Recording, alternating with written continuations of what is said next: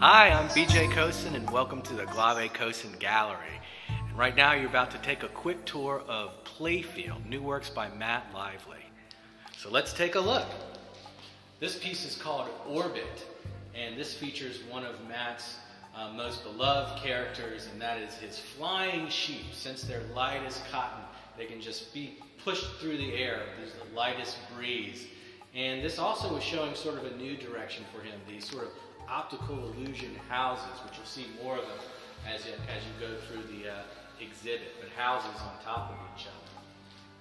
And uh, this piece coming up here is uh, a really fun one where Matt would come to your house and actually paint a cloud on your wall along, along with the house. So that's, uh, that's something that you don't usually get from artists, but Matt is not a typical painter. The whole show is Playfield, and it's actually inspired, believe it or not, by pinball machines because of that high enamel glossy color and also the wood grain that you see on some of the older style pinball machines like, like you'd see in this painting here where you can actually really see the grain of the wood. Coming up here is a piece that uh, is very, very popular, a motif of Matt's. It's very popular, and this is his, of course, his tree houses. His houses in actually inside a tree, and he's gone back to this um, image in, in a various, uh, various um, incantations or incarnations rather. Uh, there's even one humongous one, even bigger than this one, and this one's I think eight by nine feet. Um, that's on the outside of the patron's house, if you can believe it.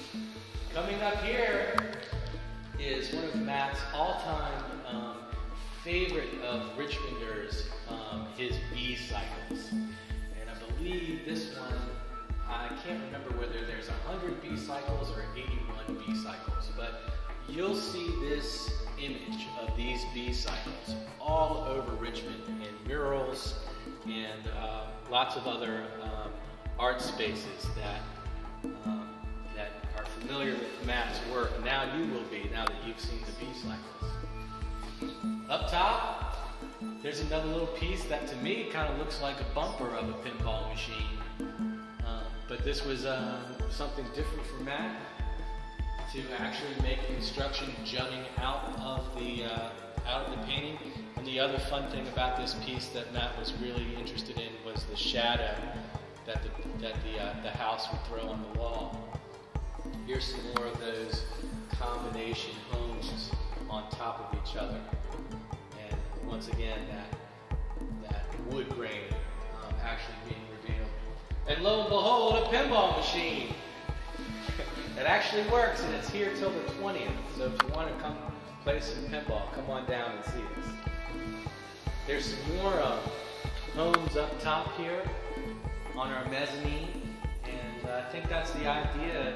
Is Matt would love to come to somebody's house and paint a cloud and put a house up somewhere high, somewhere untypical. Um, once again, here's another, uh, I believe these pieces are from the Tilt series, and here's another great one that shows the wood grain. This is the largest piece of the show. This one's called Very Sleepy River.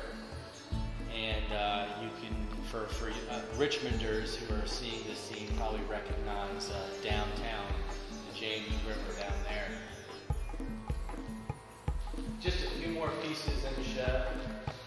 next one is really indicative of the direction that, that Matt is more than likely going to head in. And once again, it's dimensional. As you guys can see, there's one, two, three layers to this to this piece, and uh, those elongated, stretched, whimsical homes are, are just a signature thing in Matt Lively's wheelhouse. Here's a behemoth, another big uh, B cycle painting and great use of negative atmospheric space at the top to really give the bottom some weight with all of those B cycles. And last but certainly not least are the smaller construction homes that he has available. The show is up uh, November 7th through November 29th. And November 20th, we actually have a talk back with the artist called Replay. So hope to see you then. And I really appreciate you stopping by. Come back anytime. See you soon.